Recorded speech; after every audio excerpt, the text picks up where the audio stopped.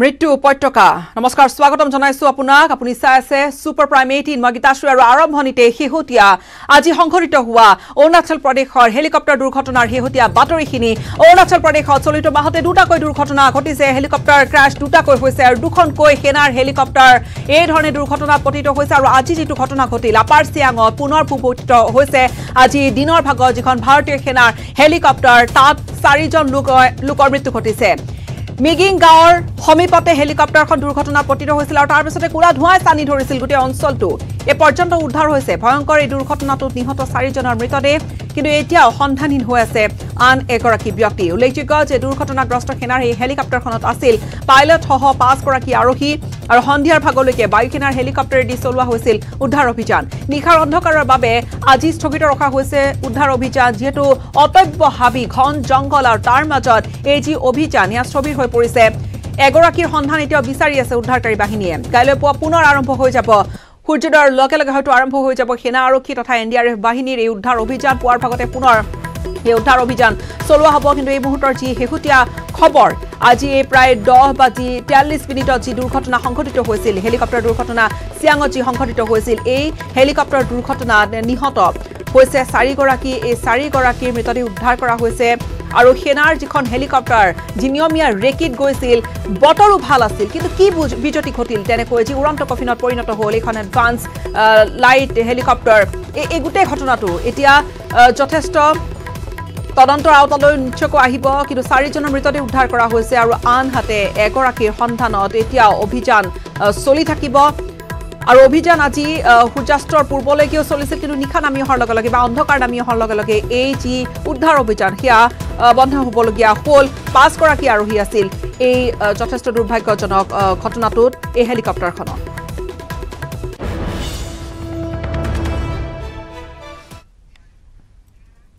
আৰু আন কিছু খবৰ এ পি এছ চিৰ চি চি দুহেজাৰ বিছৰ ফলাফল ঘোষিত হৈছে। এ চি এছৰ প্ৰথম স্থানত উজ্বলিছে বিজিত পাঠক। এ চি এছ পদৰ বাবে এশ একৈছগৰাকীক বাছনি কৰা হৈছে। কৰ অধীক্ষকৰ বাবে ছজনক বাছনি কৰা হৈছে। কৰ পৰিদৰ্শক হিচাপে এই পদৰ বাবে বাছনি কৰা হৈছে সাতাইছগৰাকীক আৰু এ পি এছ পদৰ বাবে ঊনসত্তৰগৰাকীক বাছনি কৰা হৈছে। উপ পঞ্চায়ক পদৰ বাবে বাছনি কৰা হৈছে একত্ৰিছগৰাকীক আৰু ইফালে আবকাৰী উপ পৰিদৰ্শক পদটোৰ বাবে সাতগৰাকীক বাছনি কৰা হৈছে। আনহাতে শ্ৰম পৰিদৰ্শক পদৰ বাবে ওঠৰগৰাকী হৈছে বাছনি বি ডি অ' পদৰ বাবে তেত্ৰিছগৰাকী বাছনি হৈছে দ্বিতীয় পদৰ বাবে বাছনি কৰা হৈছে পাঁচগৰাকী পুনৰ এবাৰ জনাম জি এ পি এছ চিৰ চি চি ই দুহেজাৰ বিছ পৰীক্ষাৰ ফলাফল ঘোষণা হৈছে আৰু এ চি এছৰ প্ৰথম স্থানত উজ্বলিছে বিজিত পাঠক। এ চি এছ পদৰ বাবে এশ একৈছগৰাকীক বাছনি কৰা হৈছে আৰু তাৰ সমান্তৰালকৈ বাকী কেইটা যি যি পদ কৰ অধীক্ষকৰ বাবে ছগৰাকীক বাছনি কৰা হৈছে কৰ পৰিদৰ্শকৰ বাবে এই পদটিৰ বাবে সাতাইছগৰাকীক বাছনি কৰা হৈছে এ পি এছ পদৰ বাবে ঊনসত্তৰগৰাকী বাছনি হৈছে উপ পঞ্চায়ক পদৰ বাবে বাছনি হৈছে একত্ৰিছগৰাকী ইফালে আবকাৰী উপ পৰিদৰ্শক পদটিৰ বাবে সাতগৰাকী বাছনি হৈছে শ্ৰম পৰিদৰ্শক পদৰ বাবে ওঠৰগৰাকী বাছনি হৈছে বি ডি অ' পদৰ বাবে তেত্ৰিছগৰাকী দ্বিতীয় পদৰ বাবে বাছনি হৈছে পাঁচগৰাকী ভাল লাগিছে। বিশ্বাস কৰিব পৰা নাই যে প্ৰথম স্থান পাম বুলি। যেতিয়া লিষ্টত নিজৰ নামখন দেখা পাইছিলোঁ বাৰে বাৰে চাইছোঁ যে এয়া মোৰ নাম হয়নে নাই। গতিকে বহুতেই আনন্দিত। এই এক্সামত প্ৰিপেয়াৰ কৰাৰ কাৰণে একো এটা ৰুটিন নাছিলে মোৰ। কিন্তু মই সেয়ে চিলেবাছ অৰিয়েণ্টেড পঢ়া শুনা কৰিছিলোঁ। চিলেবাছত যিখিনি বস্তু এয়া নিয়মিতভাৱে পঢ়া শুনা কৰি গৈছিলোঁ নিজৰ অপশ্যনৰ লগত কাম কৰিছিলোঁ। আৰু যিখিনি লগা সময় সেইখিনি দিছিলোঁ ৰুটিন নাথাকিলেও যিখিনি লগা সময় সেইখিনি দিছিলোঁ আৰু মোক টেষ্ট আৰু টেষ্ট চিৰিজবিলাক নিয়মিতভাৱে দিছিলোঁ। আৰু আন কিছু খবৰ? দুহেজাৰ চৌব্বিছৰ লোকসভা নিৰ্বাচনক লৈ এ আই ডি এফৰ এতিয়া নতুন অংক। লখিমপুৰ লোকসভা সমষ্টিত অখিল গগৈ আৰু লুৰিণজ্যোতি গগৈয়ে নিৰ্বাচন খেলিলে সমৰ্থন আগবঢ়াব আজমল বাহিনীয়ে ইপিনে এ আই ডি এফৰ এই ঘোষণাৰ পিছতে সৰব হৈ উঠিছে শাসকীয় বিজেপি আৰু বিৰোধী কংগ্ৰেছ। দুহেজাৰ চৌব্বিছৰ লোকসভা নিৰ্বাচনক লৈ এতিয়া প্ৰতিনিয়ত একো একোটা নতুন নতুন ৰাজনৈতিক সমীকৰণ সন্মুখলৈ আহিবলৈ আৰম্ভ কৰিছে। ৰাজনৈতিক সমীকৰণসমূহৰ জটিল সমাধান সূত্ৰ বিভিন্নজনে বেলেগ বেলেগ আৰম্ভ কৰাৰ সময়ত শুকুৰবাৰে আহিল আন এক সমীকৰণ। এই সমীকৰণটো এইবাৰ আগবঢ়ালে বদৰুদ্দিন আজমলৰ দল এ আই ইউ ডি এফে এ আই ইউ ডি এফৰ জ্যেষ্ঠ বিধায়ক ডক্টৰ হাফিজ ৰফিকুল ইছলামে দিয়া এই সমীকৰণত অখিল গগৈক সমৰ্থন দিব এ আই ইউ ডি এফে লুৰিণজ্যোতি গগৈকো দিব সমৰ্থন। এ আই ইউ ডি এফে বিচাৰিছে দুহেজাৰ চৌব্বিছত ৰাইজৰ দলৰ সভাপতি তথা বিধায়ক অখিল গগৈয়ে শিৱসাগৰ সমষ্টিতে প্ৰতিদ্বন্দ্বিতা কৰক। অসম জাতীয় পৰিষদৰ সভাপতি লুৰিণজ্যোতি গগৈয়ে খেলক লখিমপুৰ সমষ্টিৰ পৰা। পাৰোঁ লুৰিণজ্যোতি গগৈক আমি তাতে ছাপোৰ্ট দিব পাৰোঁ কি অসুবিধাটো আছে? আমাৰ পৰা কোনোবা ছাপোৰ্ট নিবিচাৰিলেও এতিয়া লুৰিণজ্যোতি গগৈ যদি লখিমপুৰত ইলেকশ্যন খেলে ভাল এজন ষ্ট্ৰং কেণ্ডিডেট হ'ব। শিৱসাগৰত যদি অখিল গগৈ ভাবে মই খেলিম বা মোৰ কোনোবা এজন খেলিব সেইজন ভাল এজন ষ্ট্ৰং কেণ্ডিডেট হ'ব। আমি নেখেলি আমাৰ নৈতিক সমৰ্থন থাকিব পাৰে। মই এইখিনি ক'ব পাৰোঁ দলৰ সিদ্ধান্ত যিটো হোৱা নাই কোৱা উচিত নহয়। তথাপি মই অলমষ্ট নিশ্চিত যে আমি চৈধ্যখন আসনত ইলেকশ্যন নেখেলোঁ। A I U D F অসমৰ চৈধ্যটা লোকসভা সমষ্টিৰ সকলোকেইটাতে দুহেজাৰ চৌব্বিছত প্ৰতিদ্বন্দ্বিতা নকৰে। ইয়াৰ পাছৰ পৰা সাতটাত প্ৰতিদ্বন্দ্বিতা কৰি বাকী কেইটাত সতীৰ্থ বিৰোধীক এৰি দি সমৰ্থন জনাব। আমি ছয় সাতখনত ইলেকশ্যন খেলি তিনিখন জিকিছোঁ। গতিকে তেনেকুৱা অৱস্থাততো আমি ছয় সাতখনততো খেলিবই লাগিব। কংগ্ৰেছৰে মিত্ৰতা সন্দৰ্ভত পুনৰ উত্থাপিত হ'ল প্ৰশ্ন। ইয়াৰ উত্তৰ দি ৰফিকুল ইছলামে ক'লে কংগ্ৰেছ ইমানখিনি বিশ্বাসযোগ্যতাই কংগ্ৰেছৰ নাই আমি বিচাৰিম। কংগ্ৰেছে বিগত দিনত এনেকুৱা কাৰ্যকলাপ কৰিছে জিৰ' পাৰ্চেণ্ট কংগ্ৰেছৰ বিশ্বাসযোগ্যতা নাই আমাৰ দৃষ্টিত। গতিকে এনেকুৱা বিশ্বাসযোগ্যতাবিহীন এটা পাৰ্টি আপোনাৰ এনেকুৱা এটা পাৰ্টিৰ লগত মানে বুজাবুজি কৰাৰ আমি প্ৰস্তাৱ দিয়াৰ প্ৰশ্নই নাই। এ আই ইউ ডি এফৰ লোকসভা কেন্দ্ৰিক সমীকৰণক লৈ মনে মনে বহি নাথাকিল কংগ্ৰেছ। পশ্চিম গোৱালপাৰা সমষ্টিৰ কংগ্ৰেছে বিধায়ক আব্দুল ৰচিদ মণ্ডলে ক'লে এইটো হৈছে যে জোৰ কৰি গাত লেতেৰা লগাই দিয়া। বলপূৰ্বক গাত লেতেৰা লগাব খোজে দুৰ্গন্ধ লগাব খোজে। কিয় ল'ব দুৰ্গন্ধ? যদি গগৈ বা অখিল হেৰি দুৰ্গন্ধটো নলয়। ডেফিনেটলি ৰাজনৈতিক পাতাৰ দুৰ্গন্ধ। ইয়েছ কিয়? বিজেপিক উত্থান কৰাত সহায় কৰাৰ একমাত্ৰ ৰাজনৈতিক দল হৈছে এই দিয়া এইটো বিজেপি নহয় কি ক'ম দুৰ্গন্ধ নহয় কি ক'ম? ইপিনে অখিল গগৈ আৰু লুৰিণজ্যোতি গগৈৰ প্ৰতি এ আই ইউ ডি এফে দিয়া সমৰ্থনক লৈ বিজেপিৰ ৰাজ্যসভাৰ সাংসদ পবিত্ৰ মাৰ্ঘেৰিটাই ক'লে এইদৰে। যদি তেওঁলোকে ঘোষণা নকৰে তেতিয়াহ'লে পৰ্দাৰ পিছফালে হ'ব। আৰু যদি কৰে তেতিয়াহ'লে পৰ্দাৰ আগফালে হ'ব। গতিকে এইটো বিশেষ নতুনত্ব নাই ভাষ্যটোত কাৰণ আমি বাৰম্বাৰ কৈ আহিছোঁ যে কংগ্ৰেছ ইউ ডি এফ জাতীয় পৰিষদ ৰাজ্যৰ সকলোৱে সমন্বিত শক্তি। Biju Kumar Deka report news eighteen Assam north east.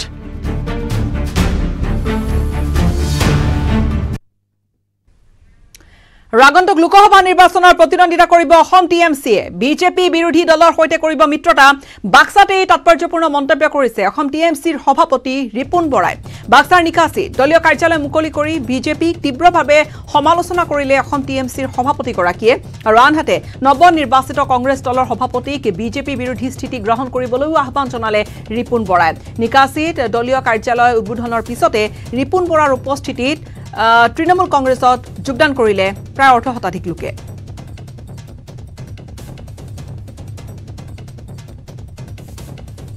জানুৱাৰী ফেব্ৰুৱাৰী মাহত আমি বুথ কমিটি গঠন কৰি আমি এপ্ৰিল মাহত যদি হয় পঞ্চায়ত নিৰ্বাচন এনেই ডিউ আছে ছেপ্টেম্বৰ অক্টোবৰ টুৱেণ্টি থ্ৰীৰ কিন্তু আগতো হৈ যাব পাৰে।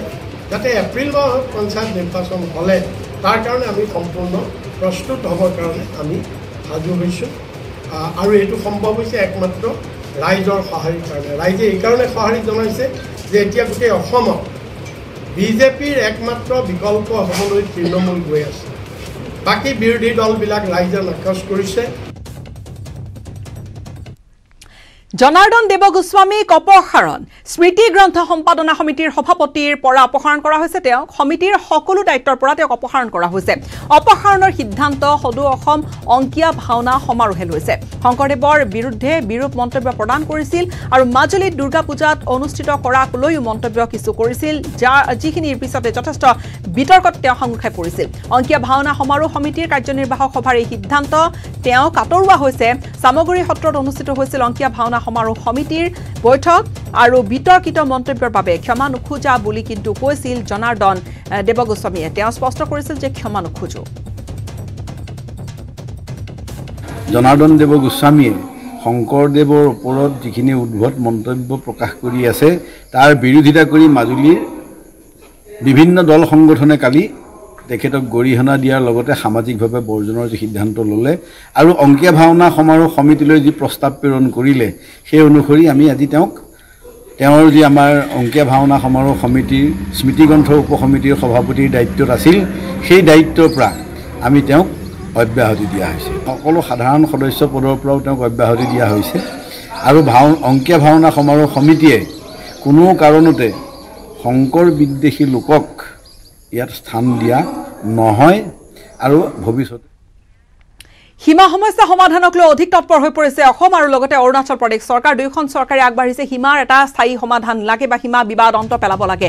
ডিব্ৰুগড় উপায়ুক্ত কাৰ্যালয়ত অনুষ্ঠিত হৈছে অসম অৰুণাচলৰ আঞ্চলিক সমিতিৰ গুৰুত্বপূৰ্ণ বৈঠক। বৈঠকত অৰুণাচল প্ৰদেশৰ মন্ত্ৰী ৱাংকি লাৱৰ লাৱং আৰু লগতে বিধায়ক ৱাংলিং লাউডং ইফালে অসম চৰকাৰৰ মন্ত্ৰী অতুল বৰা তেওঁ উপস্থিত থাকে। বিধায়ক তৰংগ গগৈ উপস্থিত থাকে। ডিব্ৰুগড় জিলা উপায়ুক্ত বিশ্বজিৎ পেগু উপস্থিত থাকে। লগতে অৰুণাচল প্ৰদেশৰ তিৰাপৰ উপায়ুক্ত তাৰু মিজে আৰু ইফালে ডিব্ৰুগড়ৰ এছ পি তিৰাপৰ এছ পিও উপস্থিত থাকে।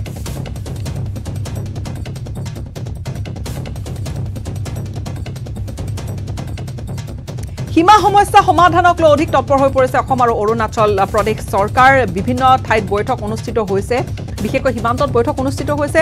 আৰু যাতে এটা সমাধান সূত্ৰ উলিয়াব পৰা যায়। তাৰ বাবে এই মন্ত্ৰী পৰ্যায়ৰ এখন বৈঠক হৈছে য'ত উপায়ুক্ত উপস্থিত আছে এছ পি উপস্থিত আছে দুয়োফালৰে অৰুণাচল আঞ্চলিক সমিতিৰ এই গুৰুত্বপূৰ্ণ অসম অৰুণাচল আঞ্চলিক সমিতিৰ এই গুৰুত্বপূৰ্ণ বৈঠক আৰু অৰুণাচল ফালৰ পৰা অৰুণাচল প্ৰদেশৰ মন্ত্ৰী ৱাংগি লাৱং আৰু ইফালে বিধায়ক ৱাংলিং লাউডং তেওঁলোক দুয়োগৰাকী উপস্থিত থাকে। অসমৰ ফালৰ পৰা মন্ত্ৰী অতুল বৰা উপস্থিত থাকে সীমান্ত মন্ত্ৰী অতুল বৰা।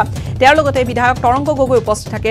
ডিব্ৰুগড় জিলা উপায়ুক্ত উপস্থিত থাকে এছ পি উপস্থিত থাকে আৰু লগতে তিৰাপৰ এছ পিও উপস্থিত আছিল আৰু উপস্থিত আছিল তিৰাপৰ উপায়ুক্তগৰাকীও তাৰো মিজে জি এশ বাইছ তেইছখন গাঁও যি সীমা বিবাদৰ এটা দীৰ্ঘদিনীয়া এটা বিবাদ চলি আহিছে। তাৰ মাজতে এই যি মীমাংসাৰ যিবা এটা স্থায়ী সীমা নিৰ্ধাৰণৰ বাবে যিকেইখন বৈঠক অনুষ্ঠিত হৈছে পুনৰ এইখন বৈঠক। আৰু এই মুহূৰ্তত আমি ফোনযোগে সংযুক্ত হৈছোঁ। আমাৰ ডিব্ৰুগড়ৰ সাংবাদিক ঋষেশ্বৰ বৰুৱাৰ সৈতে। ঋষেশ্বৰ বৈঠক অনুষ্ঠিত হৈছে। কেইবালানিও বৈঠক ইতিমধ্যে হৈ গৈছে।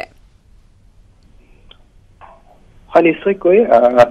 ইতিমধ্যে এইখন এ, দ্বিতীয়খন বৈঠক আজি অনুষ্ঠিত হৈছে আৰু ইয়াৰ পূৰ্বে কিছুদিন পূৰ্বে ডিব্ৰুগড় মোহনবাৰীত এখন বৈঠক অনুষ্ঠিত হৈছিল। অৰুণাচল চৰকাৰ আৰু অসম চৰকাৰৰ যি প্ৰতিনিধিবৰ্গৰ মাজত সেইখন সেই সভাটো সেইখন বৈঠকতো উপস্থিত আছিল। অতুল বৰা আজিও উপস্থিত আছে অতুল বৰা। আৰু সেইখন বৈঠকত অৰুণাচলৰ উপ মুখ্যমন্ত্ৰী উপস্থিত আছিল।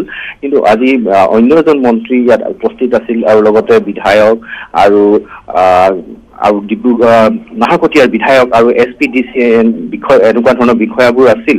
কিন্তু দীৰ্ঘদিনীয়া যি বিবাদ সেই বিবাদ আজি বৈঠকৰ অন্তত শীঘ্ৰে সমাপ্ত হ'ব বুলি আজি আশা প্ৰকাশ কৰিছে। ইতিমধ্যে সংবাদ মাধ্যমৰ আগত ভাষ্য প্ৰদান কৰিছে। আৰু কোৱাৰ প্ৰয়োজন যে এই অৰুণাচলৰ ই দীৰ্ঘদিনীয়া বিবাদ এই বিবাদক লৈ সংঘাতৰো সৃষ্টি হৈছিল আৰু যি ইয়াৰ পিছতে এখন বৈঠক উচ্চ এখন কমিটি গঠন কৰি দিয়া হৈছিল। সেই। কমিটি সেই কমিটি বিভিন্ন ধৰণৰ আলোচনাৰ অন্তত আজি ইয়াৰ প্ৰতিবেদন মুখ্যমন্ত্ৰীলৈ মুখ্যমন্ত্ৰীলৈ প্ৰেৰণ কৰিব বুলি ইতিমধ্যে আমাক অৱগত কৰিছে আৰু আৰু দীৰ্ঘদিনীয়া যি সমস্যা সেই সমস্যা সমাধান হ'ব বুলি মন্তব্য প্ৰকাশ কৰিছে। হয়। হয় ধন্যবাদ জ্ঞাপন কৰিছোঁ আমাক এইখিনি কথা আপুনি জনালে। ঋষেশ্বৰ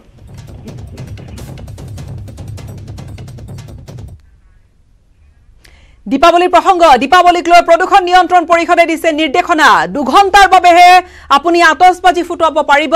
নিশা আঠ বজাৰ পৰা দহ বজালৈকে ফটকা আতচবাজি ফুটাবৰ বাবে অনুমতি প্ৰদান কৰা হৈছে। অত্যাধিক প্ৰাবল্যৰ কিন্তু আতচবাজি ব্যৱহাৰত নিষেধাজ্ঞা আৰোপ কৰিছে প্ৰদূষণ নিয়ন্ত্ৰণ পৰিষদে। লগতে নিৰ্দেশনা উলংঘা কৰা লোকৰ বিৰুদ্ধে বিহিত ব্যৱস্থা হ'ব।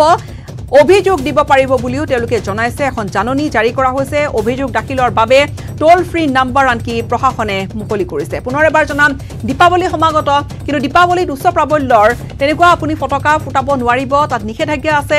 দীপাৱলীক লৈ প্ৰদূষণ নিয়ন্ত্ৰণ পৰিষদে দিছে নিৰ্দেশনা। যে মাত্ৰ দুঘণ্টাৰ বাবেহে আতচবাজি ফুটাব পাৰিব।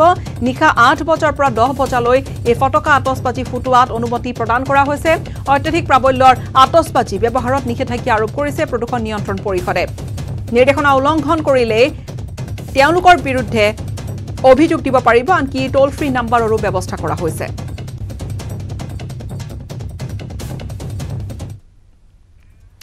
পাকিস্তানত নিষিদ্ধ কৰা হ'ল প্ৰাক্তন প্ৰধানমন্ত্ৰী ইমৰান খানক। দেশখনৰ নিৰ্বাচন আয়োগে পাঁচটা বছৰৰ কাৰণে নিষিদ্ধ কৰিছে প্ৰাক্তন প্ৰধানমন্ত্ৰীগৰাকীক। প্ৰধানমন্ত্ৰী হৈ থাকোঁতে দামী ঘড়ী অলংকাৰ হৰলুকি কৰাৰ কাৰণে নিৰ্বাচন আয়োগে নিষিদ্ধ কৰিছে ইমৰান খানক। আৰু পাঁচ বছৰলৈ ইমৰান খানে কোনো ধৰণৰ ৰাজনৈতিক প্ৰক্ৰিয়াত তেওঁ অংশই গ্ৰহণ কৰিব নোৱাৰিব। তেওঁ অংশ ল'ব নোৱাৰিব নিষেধাজ্ঞা দিছে। দুৰ্নীতিৰ অভিযোগ উত্থাপন হৈছিল এসময়ৰ বিখ্যাত ক্ৰিকেটাৰগৰাকীৰ বিৰুদ্ধে। অভিযোগ সঁচা প্ৰমাণিত হোৱাৰ দাবী কৰি দেশখনৰ নিৰ্বাচন আয়োগে পাঁচ বছৰৰ কাৰণে অযোগ্য ঘোষণা কৰিছে ইমৰান খানক। আৰু ইফালে অভিযোগৰ এই সিদ্ধান্তৰ বিৰুদ্ধে আয়োগৰ এই সিদ্ধান্তৰ বিৰুদ্ধে ইছলামাবাদ উচ্চ ন্যায়ালয়ত প্ৰত্যাহ্বান জনোৱাৰ কথা ব্যক্ত কৰিলে ইমৰান খানৰ অধিবক্তা গোহৰ খানে।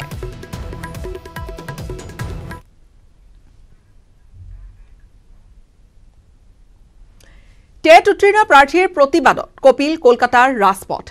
নিযুক্তি পত্ৰ বিচাৰি ৰাজপথত নামিছিল টেট উত্তীৰ্ণ প্ৰাৰ্থী। ইপিনে প্ৰতিবাদকাৰী কঠোৰ হাতেৰে দমন কৰি বিৰোধীৰ সমালোচনাৰ সন্মুখীন হৈছে এতিয়া মমতা বেনাৰ্জী চৰকাৰ।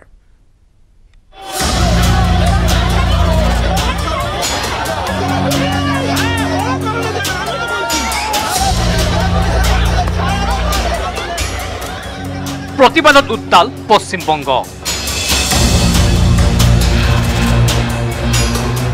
প্ৰতিবাদীক কঠোৰ হাতেৰে দমন কৰি সমালোচিত মমতা চৰকাৰ।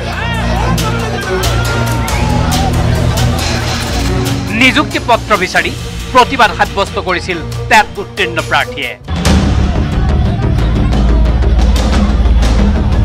বৃহস্পতিবাৰে নিশাৰে পৰা পশ্চিমবংগৰ প্ৰাথমিক শিক্ষা বৰ্ডৰ কাৰ্যালয়ৰ সন্মুখত প্ৰতিবাদ সাব্যস্ত কৰিছিল পাঁচশৰো অধিক টেট উত্তীৰ্ণ প্ৰাৰ্থীয়ে।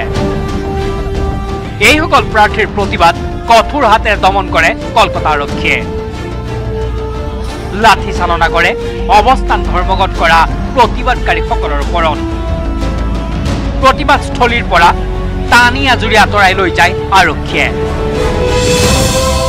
পৰিস্থিতি উত্তপ্ত হোৱাত প্ৰাথমিক শিক্ষাৰ মুখ্য কাৰ্যালয়কে ধৰি সমীপৰ অঞ্চলত প্ৰশাসনে এশ চৌৰাল্লিছ ধাৰা জাৰি কৰে। লক্ষণীয়ভাৱে দুহেজাৰ চৈধ্য চনতে টেট উত্তীৰ্ণ হোৱাৰ পিছতো আজি পৰ্যন্ত নিযুক্তি লাভৰ পৰা বঞ্চিত হৈ আছে এইসকল টেট উত্তীৰ্ণ প্ৰাৰ্থীয়ে। নিশাৰ ভাগতে বল প্ৰয়োগ কৰি আৰক্ষীয়ে প্ৰতিবাদকাৰীক দমন কৰা কাৰ্যক বিৰোধী ৰাজনৈতিক দলৰ লগতে বহুজনে সমালোচনা কৰিছে। সমালোচনা কৰিছে বিশিষ্ট চলচ্চিত্ৰ নিৰ্মাতা অপৰ্ণা সেনেও। আনহাতে নিশাৰ ঘটনাৰ বিৰুদ্ধে চল্টলেকত দেখা গ'ল আন এক প্ৰতিবাদী কাৰ্যসূচী। ডি ৱাই এফ আই নেতা মীনাক্ষী মুখাৰ্জীৰ নেতৃত্বত ওলাই আহিল শ এশ চৌৰাল্লিছ ধাৰা জাৰি হৈ থকা অৱস্থাত সাব্যস্ত কৰা এই প্ৰতিবাদৰ সময়তো সৃষ্টি হয় উত্তপ্ত পৰিস্থিতিৰ একাংশ প্ৰতিবাদকাৰীৰে হতাহতি লাগে পশ্চিমবংগ আৰক্ষীৰ। কেইবাজনো প্ৰতিবাদকাৰীক আটক কৰে আৰক্ষীয়ে। এনেদৰেই উত্তীৰ্ণৰ প্ৰতিবাদক লৈ বৃহস্পতিবাৰে নিশাৰে পৰা উত্তপ্ত হৈ আছে সমগ্ৰ Kolkata. News desk report news eighteen Assam north east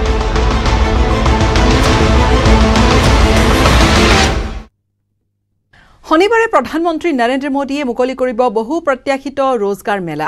দহ লাখ নিযুক্তিৰ ক্ষেত্ৰত এক সবল খোজেৰে কেন্দ্ৰীয় চৰকাৰৰ অভিলাষী আয়োজন ভিডিঅ' কনফাৰেন্সৰ জৰিয়তে প্ৰধানমন্ত্ৰীগৰাকীয়ে প্ৰদান কৰিব পঁসত্তৰ হাজাৰ চাকৰি প্ৰাৰ্থীক নিযুক্তি পত্ৰ। প্ৰধানমন্ত্ৰীৰ কাৰ্যালয়ে সদৰি কৰিছে এই কথা। নিয়োগ সংস্থাপনৰ প্ৰতিশ্ৰুতি দি অহা মোদী চৰকাৰৰ বাবে এয়া এটা বৃহৎ পদক্ষেপ। ইয়াৰ জৰিয়তে যুৱ চামক নিয়োগৰ সুবিধা সম্ভাৱনা প্ৰদানৰ লগতে নাগৰিকৰ কল্যাণ সাধন কৰা হ'ব। উল্লেখযোগ্য যে নিয়োগৰ ক্ষেত্ৰত বিৰোধীয়ে মোদী চৰকাৰক সমালোচনা কৰি থকাৰ সময়তে এই পদক্ষেপ গ্ৰহণ কৰিছে চৰকাৰে। উল্লেখযোগ্য যে যোৱা জুন মাহতে প্ৰধানমন্ত্ৰী নৰেন্দ্ৰ মোদীয়ে বিভিন্ন মন্ত্ৰণালয়ক খালী পদসমূহ পূৰণ কৰিবলৈ নিৰ্দেশ দিছিল প্ৰতিবাদমুখৰ কটন বিশ্ববিদ্যালয় শৈক্ষিক সমস্যা সমাধানৰ দাবীৰে ক্ষুব্ধ শিক্ষাৰ্থীয়ে সাব্যস্ত কৰিলে প্ৰতিবাদ। আৰ কে বি ছাত্ৰাবাসৰ উদ্যোগত সাব্যস্ত হ'ল এই প্ৰতিবাদ ছাত্ৰ সমাজৰ শৈক্ষিক সমস্যা সমাধানৰ দাবীৰে কটন বিশ্ববিদ্যালয়ৰ ছাত্ৰ ছাত্ৰীৰ প্ৰতিবাদ আৰ কে বি ছাত্ৰাবাসৰ উদ্যোগত সাব্যস্ত কৰা হৈছে প্ৰতিবাদ শ শ ছাত্ৰ ছাত্ৰীয়ে হাতে হাতে প্লেকাৰ্ড লৈ প্ৰতিবাদ সাব্যস্ত কৰিলে কটন বিশ্ববিদ্যালয়ত উপাচাৰ্যৰ কক্ষ ঘেৰাও কৰি সাব্যস্ত কৰিলে প্ৰতিবাদ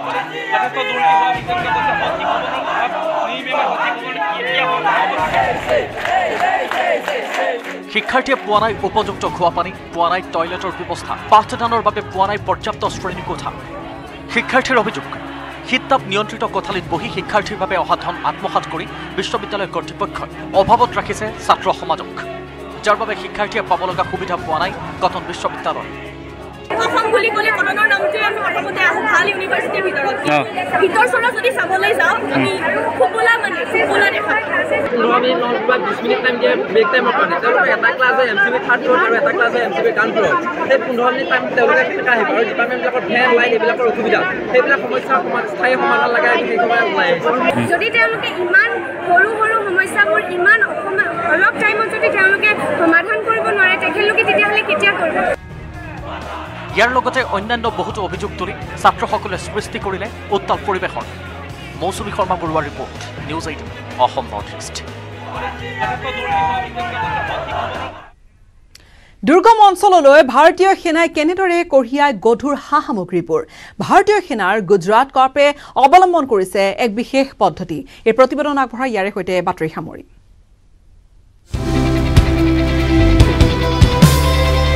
আকাশ মাৰ্গৰ পৰা ভাৰতীয় সেনাৰ কম্বেট ফ্ৰী ফল